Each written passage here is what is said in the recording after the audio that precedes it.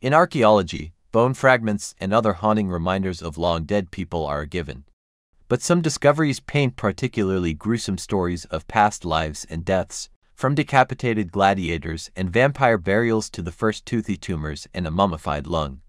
I have collected interesting and fascinating archaeological finds that will give you goosebumps.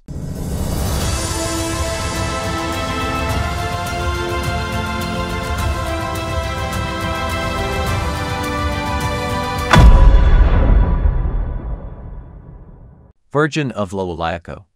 She was discovered in 1999 in a mountaintop cave near the Llullaillaco volcano. It seemed to the finder that the girl was just sleeping, her remains were so well preserved. The special conditions in the cave and the cold did their job. Skin, hair, and internal organs, none of this was destroyed by time. Since then, scientists have been scurrying around Virgo Llullaillaco. They study every inch of the sacred child. Biologists, geneticists, and doctors conducted all kinds of tests and examinations. They learned the smallest details of the last weeks of her life. Scientists have found that before her death, the girl took huge doses of psychoactive substances and alcohol. With the help of hair analysis, which stores the history of what a person ate and took, it was possible to find out that about a year before her death, the girl's diet changed dramatically. This is consistent with rare descriptions of the Capacocha ritual. The culmination of the ritual is a human sacrifice. It was held once a year, and its victims were considered sacred. Even a year before the sacrifice, they were excommunicated from the family and prepared for the sacred act. For a whole year they were fed like kings and looked after round the clock. They were not only fed the most sumptuous food of the time, but they were also given medicines. Usually these were coca leaves and alcohol, sometimes hallucinogenic decoctions. Drugs were a way to communicate with the gods, but they also served a more pragmatic purpose. They made children obedient, fearless, and disoriented. It looks like the girl was from a poor family. At least some of the genetic analysis data suggests this. The first years of her life, the girl experienced a lack of nutrients, then her diet was not rich in vitamins, and only in the last months of her life did her diet become quite diverse. Usually the victims of the Capacocha ritual are found with traces of violent death, but the Virgin of Llullaillaco was not found to have bodily injuries. It seems that she was simply taken to a cold cave and left there with two other children. Their remains were much worse preserved. What was the purpose of the ritual? Nobody knows the exact answer, but there are a lot of assumptions, from regular offerings to the gods, to the desire of the ruler to increase his chances in the coming war. In any case, the girl was probably one of the last victims. The conquistadors had already landed on American soil. Soon the entire civilization of the Incas will fall from the diseases and guns that the invaders brought with them. Screaming mummies. Guanajuato is a small city in Mexico. 1833 cholera rages in the city, killing most of the people living there. As corpses accumulated, healthy and able-bodied people buried the dead in mass graves as quickly as possible to prevent the spread of the disease. Over time, the incidence of cholera began to decline, leaving people who managed to survive an unpleasant illness to continue their lives. In 1870, the local government taxed anyone who wanted to continue caring for the graves of their relatives buried in mass graves forever. Failure to pay this tax will result in the bodies being exhumed and placed in a warehouse. Benjamin Franklin was right when he said, Nothing is certain but death and taxes, and I will add that both are equally hated. This tax was very unpopular among the people of Guanajuato, and no one wanted to pay it. As promised, local authorities proceeded to exhume the bodies. What they found shocked them. The bodies are surprisingly well preserved, they were actually mummified. Scientists have found that the unique composition of the soil, dry weather with low humidity kept the bodies from decomposition. But the most eerie and terrifying discovery was when the townspeople looked at the facial expressions of the mummies. The faces of many of them reflected the horror that they experienced when they woke up in a coffin and realized that they had been buried alive. A legitimate question we should ask ourselves is where this theory of dead people coming back to life comes from. Could there be another explanation for these terrifying screaming expressions? Perhaps, but the resurrection of the dead theory gained more credibility after the discovery of the body of Ignacia Aguilar, who suffered from a strange illness, due to which her heart beat so slowly that it seemed to stop. Her family had to deal with this strange disease several times because after a while her heart began to beat normally again, but one day Ignacia's heart stopped beating for more than a day. The next day, her relatives decided to bury her. In 1870, when the bodies were exhumed, she was seen biting her hand on her face and with much blood in her mouth. It did not take too much imagination for people to conclude that Ignacia was one of those unfortunates who died, and when she came to life, they realized with horror that she had been buried. Let's digress from this horror story for a minute or two and turn to science for a rational explanation of how it is possible to mistakenly diagnose a dead person when he is actually alive. One possible explanation could be that the Guanajuato mummies suffered from Lazarus syndrome, which is defined as a delay in the return of spontaneous circulation after cardiopulmonary resuscitation. In patients declared dead after cardiac arrest, an impromptu restoration of cardiac activity occurs. The syndrome is named after Lazarus of Bethany, who, according to the New Testament of the Bible, was brought back to life by Jesus Christ four days after his death. Since 1982, when the Lazarus phenomenon was first described in the medical literature, at least 38 cases have been reported, including a case in 2014 in which an 80-year-old woman was frozen alive in a hospital morgue. There are two types of death, clinical death and biological death. Clinical death is defined as the absence of a pulse, heartbeat, and respiration, while biological death is defined as the absence of brain activity. Based on this definition, one might think that it is easy to declare a person dead, but not everything is so simple. There are a number of diseases in which a person may appear dead when they are not, namely hyperthermia when the body experiences a sudden drop in temperature caused by prolonged exposure to cold, catalepsy a trance-like state such as epilepsy, confined space syndrome complete paralysis of voluntary muscles. Returning to our horror story, Guanajuato is home to a whole group of mummies with expressions of extreme pain and pure horror. Death looks ugly, but these facial expressions are not normal they are too excited and expressive for a deceased person. The screaming mummies of Guanajuato are, without a doubt, clear evidence of your worst nightmare. On November 1st and 2nd, Mexico celebrates Dia de los Muertos, the Day of the Dead, when families welcome the souls of their deceased relatives for a brief reunion that includes food, drink, music, and celebration. Viking Cemetery. At the word Viking funeral, most modern people imagine a burning drakkar, carrying the body of a fallen warrior into the sea. The internet is replete with stories about the organization of the Viking funeral of a deceased person and disputes about whether it is legal to carry out this procedure. Do fire safety regulations allow shooting a ship with a burning arrow? All these entertaining questions have nothing to do with how the real Vikings buried their dead. The imposing image of a burning ship is a figment of the imagination of romantics and filmmakers, although not without reason. Where did it come from? and how did the ancient Scandinavians actually bury their dead?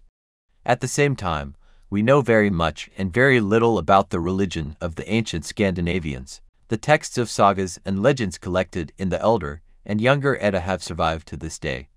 It is from there that we know the images of gods and heroes, the stories of their exploits and adventures, and, of course, the predictions of Ragnarok. Some of the views of the ancient Scandinavians on their posthumous fate are also stated there.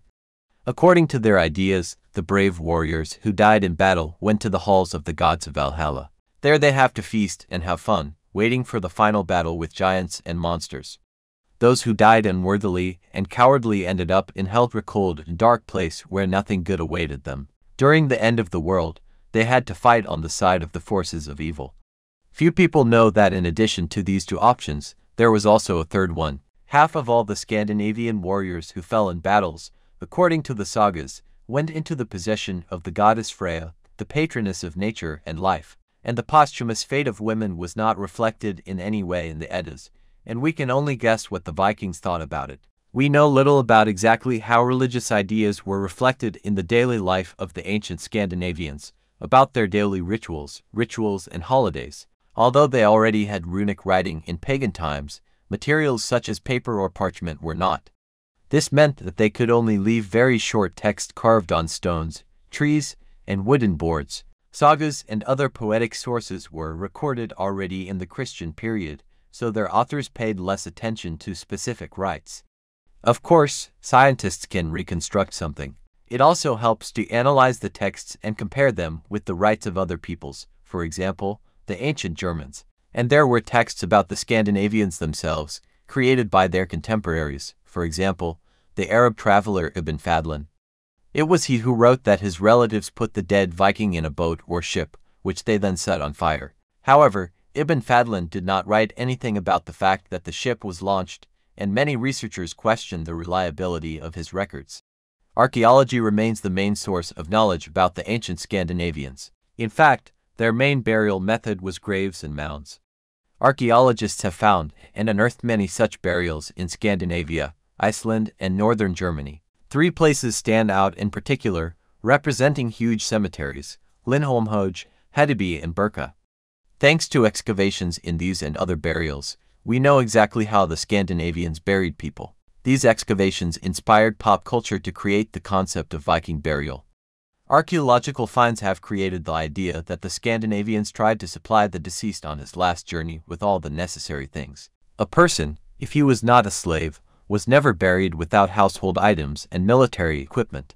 For a simple warrior, his weapons were placed in the grave. For professional artisans, for example, blacksmiths, their tools, for women jewelry. The burial places of high-ranking northerners, who were buried along with their riches, have been best preserved to this day. Treasures, weapons, animals, especially horses, accompanied the deceased to the next world. In some cases, even servants or his wife were buried with him. However, this kind of human sacrifice was rather the exception. More often, the Scandinavians limited themselves to the burial of slaves and concubines who died of natural causes. But even without casualties, the leader's funeral was an expensive undertaking. The Viking mounds are not as impressive as the tombs of the pharaohs, but their construction still required a lot of effort. The northerners literally poured an artificial hill over the grave of the deceased. Scientists suggest that in addition to the ritual, this could also have political significance, the height of the hill and stories about how a rich leader was buried emphasized the power of his descendants in the eyes of neighbors. Was there a burning ship?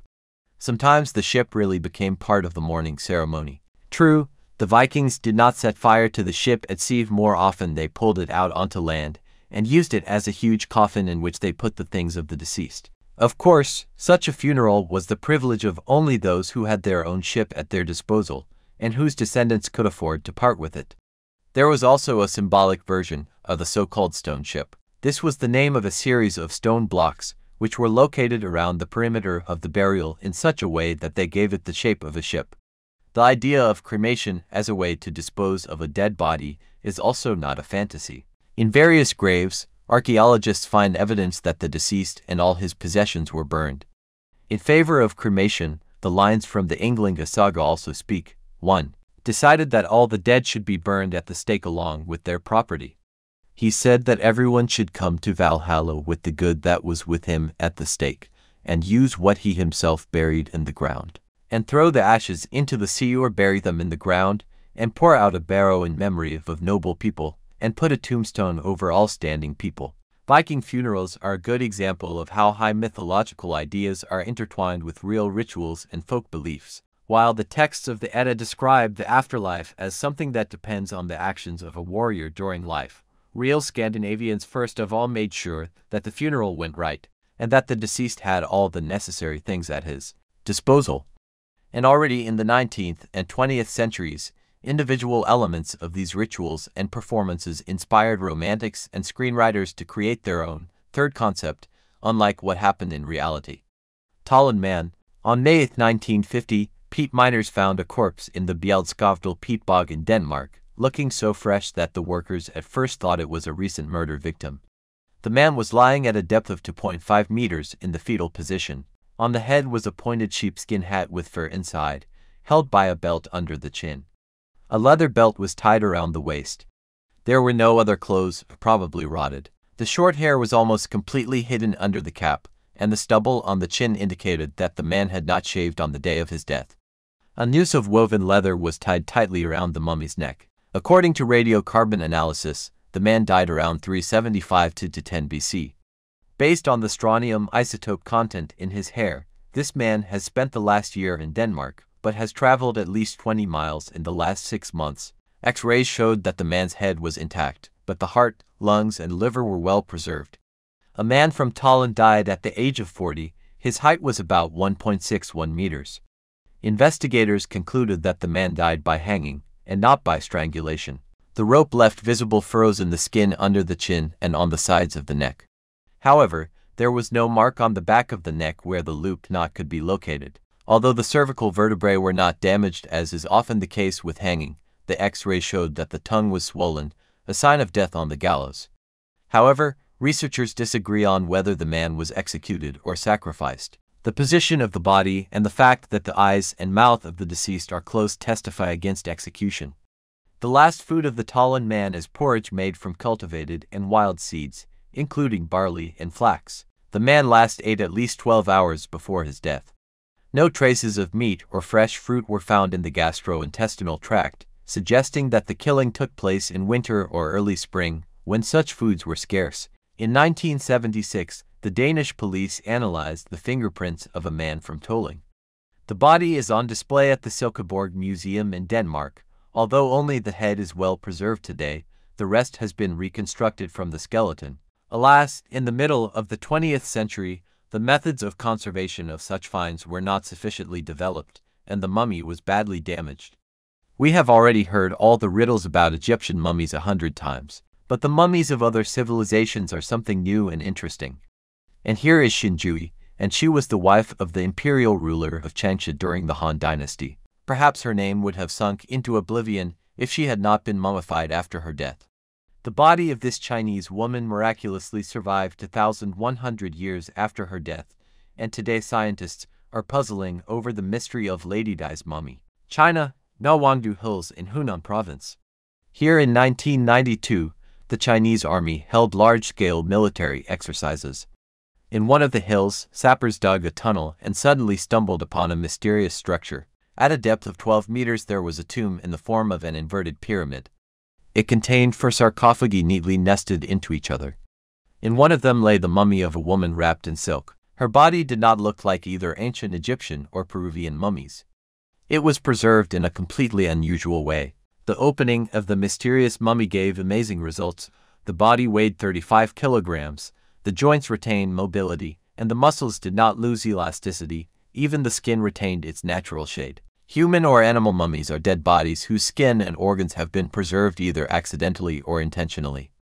Tissue degradation can be prevented by lack of air, low humidity, high or low temperatures, or exposure to chemicals. This means that the body does not decompose as long as it is stored in a dry and cool place. Mummies have been found on every continent. For example, there are over a million animal mummies in Egypt, mostly cats. In ancient Egypt, it was believed that when a pharaoh died, he simply passed into the underworld and turned into one of several gods that people worshipped at that time. The Egyptians used the process of mummification to preserve bodies and prevent them from decaying. Intentional mummification was first recorded as early as the Second Dynasty, that is, in 3400 BC, it soon became an integral part of the Egyptian funeral ritual, of course, not for everyone. Sometimes it took up to 70 days to properly embalm the body. In Asia, mummies are preserved only by accident due to the fact that people were buried in the right place, where the environment itself acted as a means of preserving the body. Therefore, Asian mummies are most often found in the desert regions of Iran and the Tarim Basin. Mummies have also been found in wetter Asian climates, but are very difficult to recover as bodies decay very quickly after being removed from graves due to the warm and humid conditions they are suddenly exposed to. She is revealed to have been a wealthy Han Dynasty Chinese matron who died around 160 BC. E. Eh. At the age of approximately 50 years. Her mummy is one of the best preserved from antiquity. Xin Zhui's tomb was arranged in the form of an inverted pyramid and was located at a depth of 12 meters underground. Her body was wrapped in silk and placed in four ornate sarcophagi. Her body did not look like either ancient Egyptian or Peruvian mummies. It was preserved in a completely unusual way. The mummy floated in 80 liters of a yellowish liquid. Five minutes after the opening of the mysterious crypt, this substance literally evaporated. There was not a trace left of it. These measures made it difficult for air, moisture, and bacteria to enter the body, thereby slowing down the decomposition process. The grave was covered with five tons of coal and a meter layer of clay. A 15-meter embankment was poured above ground level. Xin Zhui accompanied up to a thousand items to the other world, most of which were intended to meet her daily needs. The food was arranged on 30 bamboo plates along with recipes for the deceased's favorite dishes. Dozens of books on medicine were found in Xin Zhui's sarcophagus. They described to the smallest detail the most complex operations to increase the brain, to transplant and bypass the heart. In ancient China, they knew about the medicine of the future. Another find that amazed archaeologists was the Vale of Xin Zhui. The map was drawn on a piece of silk about a meter by a meter in size. It shows the territories of three Chinese provinces at a scale of 1 to 180,000. The map looked like it was compiled from photographs from low Earth orbit. The Silk map was compared with modern images of Chinese territories taken by NASA satellites. Incredible accuracy struck American scientists. Not a single mistake. At autopsy, blood was found in the veins of the deceased, and the internal organs were preserved as if death had occurred only a few weeks ago. The joints retained the ability to move, the skin elasticity. The study of the mummy confirmed that the aristocrats of ancient China did not lead a healthy lifestyle. They ate a lot of fatty foods, did not move much, which led to overweight and narrowing of the coronary arteries. It is assumed that his lifetime weight is 120 to 140 kilograms with a height of 150 to 152 centimeters. Shinru had problems with his spine, and tapeworms were found in his intestines. The unusual embalming of the body, which allowed it to remain so, books on medicine, a case map how to explain such a deep knowledge of the ancient Chinese in medicine and topography. Why is this knowledge not saved? More than 30 years have passed, and the secrets of the mysterious Shinru sarcophagus have not yet been revealed. There are a lot of secrets and mysteries in the world, and a person does not have enough life to even unravel them and even learn about them. And we will end the video with a quote from the French mathematician Pierre Simon Laplace what we know is limited, and what we do not know is infinite. Be sure to subscribe so as not to miss an interesting and informative video. Also please like and comment.